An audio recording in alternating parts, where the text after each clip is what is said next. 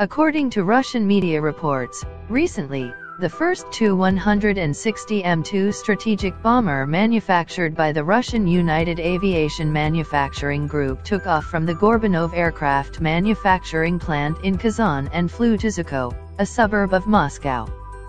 According to the plan, this Tu-160M2 strategic bomber will start at the airport of Gagarin Air Force Academy for National Acceptance Flight organized by Tupolev and the Russian Aerospace Forces.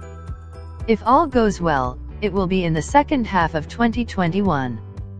Officially delivered to the Russian aerospace forces. And this is also another node reached by the Tu-160M2, which went offline at the end of 2019, and another node for the Russian aerospace forces to rebuild the long-range aviation force. If Big Ivan is asked to evaluate this new entry Tu-160M2 White Swan strategic bomber, we think we can use one word to describe it, difficult takeoff. To say that this Tu-160M2 strategic bomber has had a difficult takeoff, it is very simple.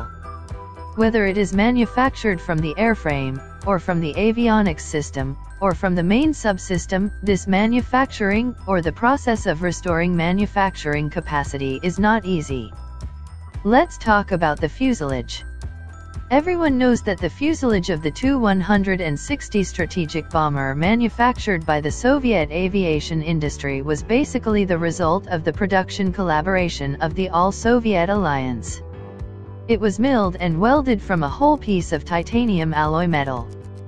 The large-scale electron beam welding equipment required in the welding process is also a special manufacturing equipment specially developed by the Barton Welding Technology Research Institute in Ukraine. The craftsmanship and tooling required for the production of the entire machine body are extremely complex, and even have extremely high requirements for electricity.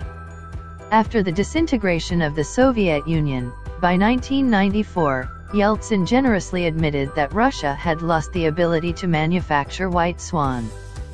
In order to restore the mass production capacity of the Tu-160 at the Gorbunov plant in Kazan, the Russian Aerospace Industry Department has made arduous efforts. Starting in 2016, it has gradually implemented funding to the Kazan plant to assist Kazan. Restore the original plant equipment, power supply, and heating, manufacturing tooling, etc.